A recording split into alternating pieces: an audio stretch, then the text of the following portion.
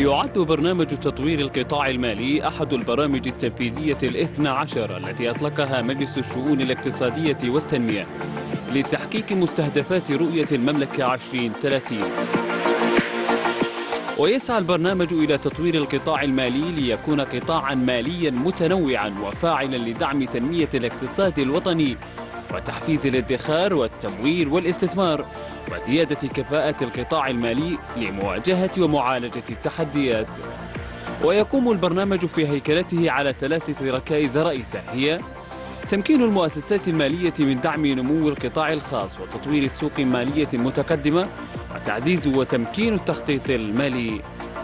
كما يسعى إلى التنوع المالي والشمولية المالية والاستقرار المالي والتحول الرقمي وعمق القطاع المالي. وتساهم مبادرات البرنامج في رفع نسبة ادخار الأسر من إجمالي الدخل إلى 10% بحلول العام 2020 وزيادة إجمالي حجم الأصول المالية في المملكة إلى الناتج المحلي الإجمالي بنسبة